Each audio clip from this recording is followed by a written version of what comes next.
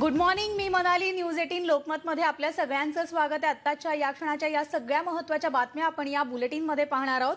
मात्र बुलेटिनची सुरुवात आता एका ब्रेकिंग बातमीनं करतोय आणि आता ही बातमी आहे ती म्हणजे गेल्या काही दिवसांपासून सध्या सुरू असलेल्या चर्चेविषयी सुशांत सिंग राजपूत आत्महत्या प्रकरणी रिया चक्रवर्तीच्या याचिकेवर सुप्रीम कोर्टात आज निर्णय होण्याची शक्यता आहे. सकाळी अकरा वाजता हा निर्णय येण्याची शक्यता असून सुशांत आत्महत्येप्रकरणी मुंबई पोलिसांनीच तपास करावा अशी याचिका रियानं दाखल केलेली आहे. त्यावर तपास सीबीआय करणार की मुंबई पोलीस यावर आता सुप्रीम कोर्ट निर्णय देणार आहे. माध्यमांकडून सुरू असलेले आरोप थांबवण्याची मागणी सुद्धा रियानं कोर्टात केलेली आहे. त्यामुळे आज सगळ्यांचं लक्ष या सुनावणीकडे लागलेला आहे कारण गेल्या काही दिवसांपासून मुंबई पोलीस वर्सेस सीबीआय असा वाद सोशल मीडियावर सुरू होता. अनेक ट्रेंड सुद्धा सुरू झालेला होता. Hashtag CBI for S S R म्हणजे सुशांत सिंग राजपूत. मात्र आता या रियानं दाखल केलेल्या याचिकेवर आज सुप्रीम कोर्टात सुनावणी आहे. सकाळी अकरा वाजता हा निर्णय येण्याची शक्यता आहे. त्यामुळे या संपूर्ण प्रकरणी आता जो निकाल जो आहे जो तपास जो असणार आहे तो नेमकं कोण करणार याकडे सगळ्यांचंच लक्ष लागलेलं आहे.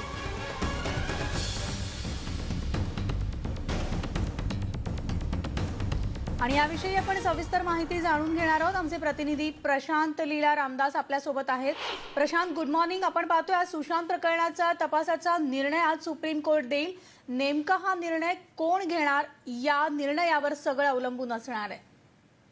बरोबर आहे. मनाली खास करून जर ज्या पद्धतीनं सुप्रीम कोर्टामध्ये सुनावणी झाली सीबीआयचे वकील असो किंवा केंद्र सरकारचं म्हणणं असो किंवा महाराष्ट्र सरकारच्या वतीने मांडण्यात आलेली बाजू असो या सगळ्यांवरती विस्ताराने चर्चा झाल्यानंतर सुनावणी झाल्यानंतर आज त्याचा अंतिम निर्णय येणार आहे. या संदर्भात संपूर्ण सुनावणी पूर्ण केल्यानंतर सुप्रीम कोर्टाने हा निर्णय राखून ठेवला होता. त्यानंतर आज काल रात्री या संदर्भातली बोर्डावर केस आली आणि त्यांनी स्पष्ट केलं की आज अकरा वाजेच्या दरम्यान या संदर्भात निर्णय येईल. महत्वाचं म्हणजे यामध्ये रिया चक्रवर्ती यांनी या याचिका दाखल केली होती की या संपूर्ण प्रकरणाची सुशांत सिंग राजपूत प्र- प्रकरणाची चौकशी मुंबई पोलिसांनी करावी सीबीआयला देऊ नये. या यानंतर बिहारच्या वतीने ज्या पद्धतीने मागणी करण्यात आली की बिहारमध्ये एफ आय आर नोंदवली आहे. बिहारने या संदर्भात सीबीआयला शिफारस देखील केली आहे. आणि सुशांत सिंग राजपूतचे जे वडील आहे के के सिंग यांनी देखील ही मागणी केली आहे की सीबीआयला ही चौकशी देण्यात यावी. त्यामुळे आता सुप्रीम कोर्ट कोणाच्या बाजूने जातं? मुंबई पोलिसाच्या बाजूने असतं की सीबीआयच्या बाजूने? हे देखील पाहणं अत्यंत महत्वाचं ठरणार आहे. म्हणाले. अगदी बरोबर आहे. त्यामुळे अकरा वाजता सुप्रीम कोर्टाच्या निकालाकडे या सुनावणीकडे आपण सगळे नजर ठेवून असणार आहोत. सगळे अपडेट्स प्रशांत जाणून घेत राहणार आहोत.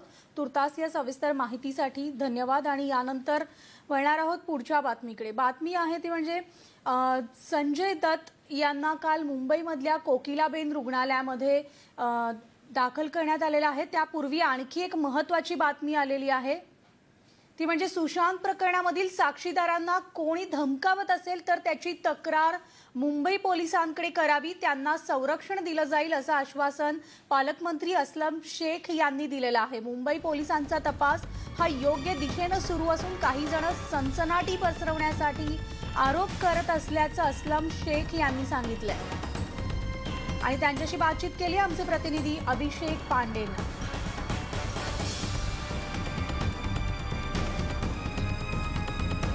तर सुशांत प्रकरणामधील साक्षीदारांना कोणी धमकावत असेल तर त्याची तक्रार जी आहे ती आता मुंबई पोलिसांकडे करावी असं मुंबईचे पालकमंत्री असलम शेख यांनी म्हटलेलं आहे. तसंच मुंबई पोलिसांचा तपास देखील हा योग्य दिशेनं सुरू असल्याचं त्यांनी सांगितलेलं आहे.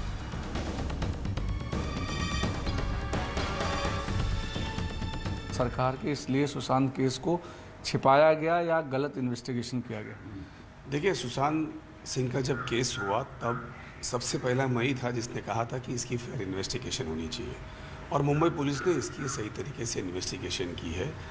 अब इसका एक ट्रायल मीडिया होना शुरू हो गया है। कोई भी मीडिया पे आता है, कोई बातें करता है। अगर किसी के पास कोई तथ्य है तो वो पुलिस से शेयर करे। पुलिस को बताए कि हमारे पास ये तथ्य है, उस पर बात होना चाहिए। कोई छः महीने पहले बात करता है, कोई एक साल पहले की बात करता है। सुशांत सिंह के केस हो चाहे जो भी केस हो अगर कोई किसी की जान अगर जाती है किसी वजह से उसको फाइंड आउट होना चाहिए। बाकी यूँ ही उसको खींच के जिस तरीके से दिखाया जा रहा है मीडिया के अंदर कहीं कभी किसी पॉलिटिशियन को इन्वॉल्व किया जा रहा है कभी किसी आ, एक्टर को इन्वॉल्व किया जा रहा है कभी किसी डायरेक्टर को इन्वॉल्व किया जा रहा है। तथ्य रख के अगर इन्वॉल्व करें कि भाई ये था ये कारण था ये इसके पेपर्स है या ये इसका वीडियो है तो समझ में आता है। वरना ज़बरदस्ती उसको खींचना वो ठीक नहीं है। और शरद पवार जी ने कहा कि अगर हमारा मुंबई पुलिस जो है one of the best investigation agency इस देश की है, उसके बावजूद अगर केंद्र सरकार को लगता है कि उनको इन्वेस्टिगेशन करना है तो सीबीआई के माध्यम से वो कर सकते हैं। सीबीआई के मामले को लेकर के राज्य सरकार में ही बहुत सारे ऐसे मिनिस्टर्स हैं, वो कह रहे हैं कि सीबीआई इन्वेस्टिगेशन नहीं होनी चाहिए और उसके लिए सरकार हर कोशिश करेगी। अब सरकार के भीतर क्या आपको लगता है कि कहीं ना कहीं सीबीआई को लेकर के दो मतभेद है, या पवार साहब के स्टेटमेंट में, आपके स्टेटमेंट या सरकार के दूसरे मंत्रियों के स्टेटमेंट में? देखिए, ऐसा है कि मुंबई पुलिस ने जो इन्वेस्टिगेशन की है, उसमें कहाँ गलतियाँ हैं?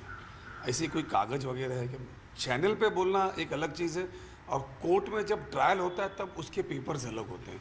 अगर कोई तथ्य है तो आप कोई चीज़ अगर पुलिस के इन्वेस्टिगेशन में रह गई हो, जिसको जो है किसी भी नागरिक को पता हो तो पुलिस को हेल्प कर सकता है। यूँ ही मेरे ख्याल से उसको खींच के कोई मतलब नहीं है। सुशांत सिंह को न्याय मिले, इस मत की पूरी महाराष्ट्र विकास आघाड़ी सरकार है। बिहार बिहार के एक अधिकारी को क्वारंटाइन किया गया, उसके बाद बिहार पुलिस की तरफ़ से तमाम सारे आरोप लगाए गए। मुंबई पुलिस की तरफ़, सरकार की तरफ़ आरोप लगा गया है, सरकार इसमें दबाव बना रही है। इसलिए सीबीआई इन्वेस्टिगेशन होना चाहिए और सीबीआई की तरफ़ से रिकमेंडेशन बिहार सरकार ने किया। देखिए, बिहार के अगर चुनाव नहीं होते तो शायद मुझे लगता है कि इतना ये मीडिया दिखाता नहीं। लेकिन अभी भी मैं कहता हूँ कि किसी के पास कोई तथ्य है, क्राइम हुआ या इंसिडेंट हुआ मुंबई शहर के अंदर, पुलिस उसकी इन्वेस्टिगेशन चालू है। इन्वेस्टिगेशन ख़त्म भी नहीं हुई कि बिहार में एक नया केस रजिस्टर होता है। बिहार का इन्वेस्टिगेशन अभी ख़त्म नहीं हुआ कि सीबीआई में रजिस्टर हो सकता है, हो जाता है। मतलब ये ये क्या चीज़ें हैं? कैमरा दिग्विजय के साथ Abhishek Pandey, Mumbai, news eighteen, India. आणि या सगळ्या प्रकरणावर आपलं लक्ष असणार आहे. या सगळ्या प्रकरणाच्या तपासाचा जो काही निकाल सुप्रीम कोर्टाकडनं येणार आहे ते सुद्धा अपडेट्स तुमच्यापर्यंत पोहोचवत राहणार आहोत. वळूयात पुढच्या बातमीकडे. बातमी आहे संजय दत्त संदर्भातील. कारण गेल्याच आठवड्यामध्ये संजय दत्तचा फुफ्फुसाचा कर्करोग असल्याचं निदान झालेलं होतं आणि संजय दत्तनं त्याच्यावर आता प्राथमिक उपचारासाठी कोकिलाबेनमध्ये दाखल झालेला आहे. अभिनेता संजय दत्त याच्यावर मुंबईमधल्या कोकिलाबेन रुग्णालयात उपचार सुरू झालेले असून संजय यांना फुफ्फुसाचा कर्करोग असल्याचं निदान गेल्या आठवड्यात झालं होतं. मंगळवारी संध्याकाळी संजय रुग्णालयात दाखल झाले. त्यांच्यासोबत त्यांची बहीण प्रिया दत्त या देखील होत्या. तर माझ्यासाठी प्रार्थना करा असं आवाहन संजय दत्त यांनी तिथं उपस्थित असलेल्या सगळ्या त्याच्या चाहत्यांना आणि प- प्रसार माध्यमांना केलेलं आहे.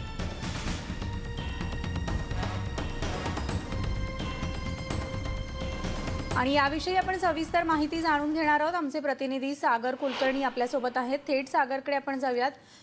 सागर गुड मॉर्निंग आणि संजय दत्तनं काल रात्रीच खरं तर कोकिलाबेनमध्ये दाखल झाल्याचं सगळ्या चाहत्यांना सांगितलेलं आहे आणि जात त्यां कर्करोगाचं जे निदान आहे गेल्या आठवड्यात झालं होतं. अमेरिकेला जाणार असं देखील म्हटलं जात होतं. मात्र आता प्राथमिक उपचार कोकिलाबेनमध्ये सुरू झालेले आहेत. काय सविस्तर अपडेट्स आहेत? काल रात्री संजय दत्तला कोकिळाबेन हॉस्पिटल येथे ऍडमिट करण्यात आलेलं आहे. प- साधारणतः प- पुढच्या दोन ते तीन महिन्यामध्ये जे कर्करोगाच्या संदर्भातले उपचार आहेत त्यासाठी परदेशात नेण्यात येईल अशा स्वरूपात संजय दत्तच्या पत्नीच्या वतीने स्टेटमेंट जे काढण्यात आलेलं आहे त्यात सांगण्यात आलेलं आहे.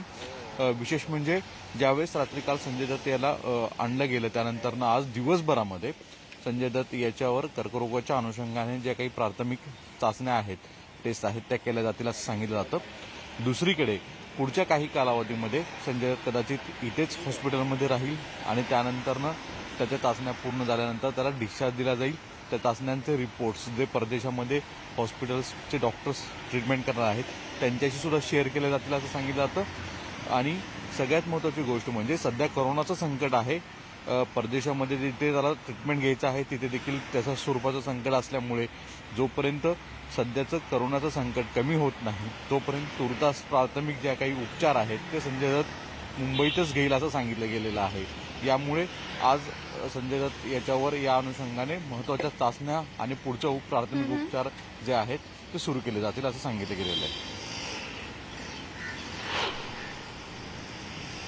सागर धन्यवाद या सविस्तर माहितीसाठी. तिथल्या देखील सगळ्या अपडेट्स आम्ही तुमच्याकडनं वारंवार जाणून घेत